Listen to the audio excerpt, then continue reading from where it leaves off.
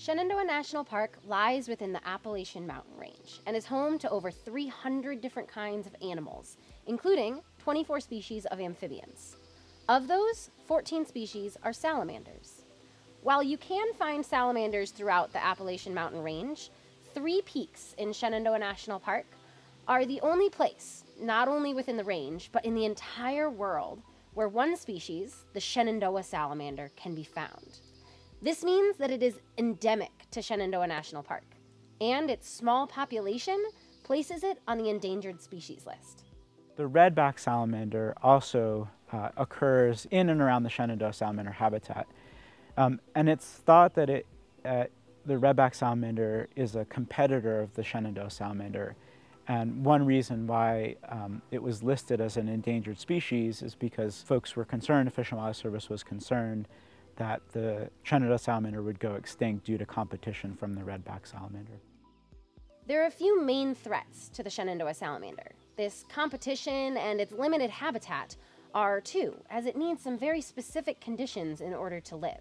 Because the Shenandoah salamander and the redback salamander also are sensitive to this, the kind of temperature and the relative humidity, the, the moisture on the surface, um, when it's hot and dry or when it's cold and frozen, the salamander goes below ground.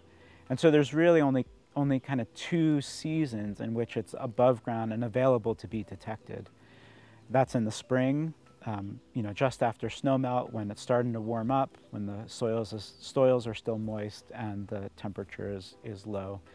Um, in the summer, when it gets hot and dry, the salamander first retreats under rocks and logs where it's a little bit cooler and a little bit wetter. It's difficult to answer a lot of the questions because they are so rarely seen on the surface. There are maybe 90% of them below ground at any given time. So it takes a lot of effort to think about the difficult questions that they wanted answered. So they asked for USGS help. We started with just figuring out where they currently occur because it, the species had not been worked on for decades. Since it was listed, research was really limited because they did not want the species to be disturbed, which makes total sense. Consistent research has led to many new discoveries about these small but important animals. We know more. They're nocturnal, carnivorous, and terrestrial, meaning they live on land. And due to research, we have clues as to what their life in the past may have looked like before being isolated on these mountain peaks.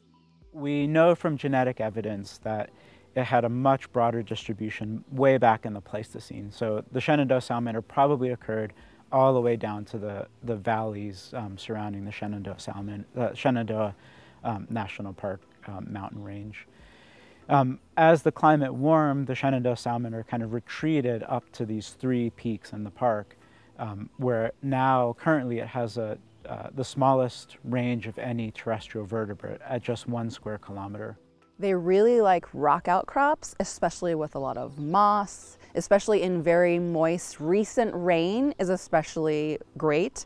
You would think that they would really like warm conditions, but we actually find them on the surface earlier in the spring than you might expect.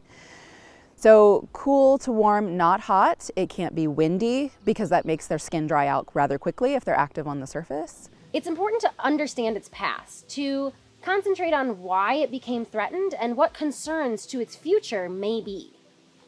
So one of the main questions is what limits the range of the Shenandoah salamander. Previously, it was thought that the main limiting factor was competition with a similar species, Plethodon cinereus, the red-backed salamander. It turns out that it's probably more complicated than that. In some areas of the range, we found that the most limiting factor is probably moisture in the air, especially at lower elevations as relative humidity changes. And if you spend any time in Shenandoah National Park, especially in the higher elevations, you'll notice how fog clings to the highest elevations. And we think that has a lot to do with where the Shenandoah salamander loves to live. There are still influences of the redback salamander in parts of the range, but we're not sure how strong that is relative to the a moisture factor. So that's one of the things we're still working to resolve. You know, we have, the, we have this emerging sense or this emerging understanding that climate change is influencing all kinds of natural systems. Um, the Appalachian region, the Appalachian Mountains are, um, they're getting warmer and drier. But the, I guess the, the our dogma, our understanding of what was controlling the Shenandoah salamander was this competition. So a lot of my research was was thinking about well, what factors um, increase competition, what factors might mitigate the effects of competition, and because they're um, you know terrestrial salamanders are sensitive to, to um, moisture and temperature. Um, I started looking at what might be setting the range limit of the salamander. This amphibian is only about the length of your index finger and lives underground much of its life, but it's very important to the balance of the ecosystem. It does need some specific features in order to survive in its habitat, like food to eat, places to hunt and to burrow, and humidity in the air that's present above the fog line high on mountain peaks. In these areas, they can keep cool and moist, an important factor to consider for an amphibian that lives on land rather than in the water.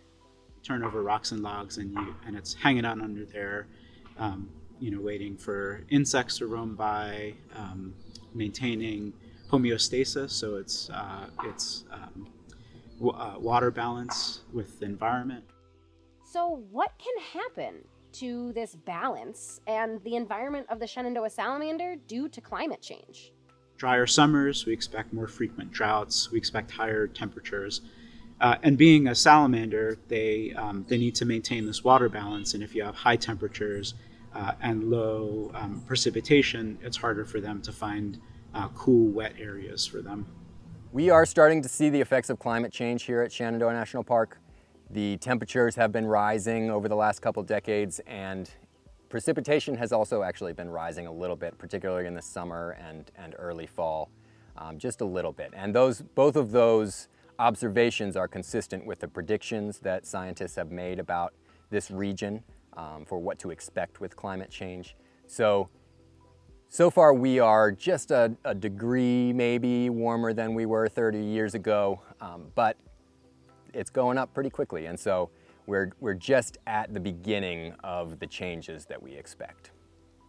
The hemlock decline in particular, we have seen just within the years I've been working on the Shenandoah salamander, I have seen areas become completely open to sunlight where they were not before, sunlight on the forest floor. So that means salamanders living there are experiencing drier and potentially warmer temperatures than they did just a few decades prior.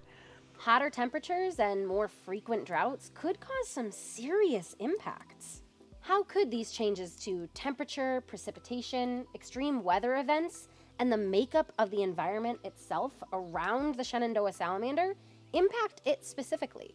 The Shenandoah salamander is very sensitive to temperature and humidity, and so climate change is expected to change both of those. Um, and particular temperature is potentially problematic because salamanders prefer cool, moist habitats. And so as that temperature rises, there's likely to be less of that cool, moist habitat available. And because the Shenandoah salamander lives at the top of the mountain, uh, where there is no upslope habitat to retreat to, uh, they are likely to just get, their range is likely to get smaller and smaller as, as climate changes. So Shenandoah salamanders retreat underground when conditions get unsuitable for them. So that happens every year typically in the summertime. So it gets too hot and they are able to go underground to, to get cooler temperatures and, and retain the moisture in the soil.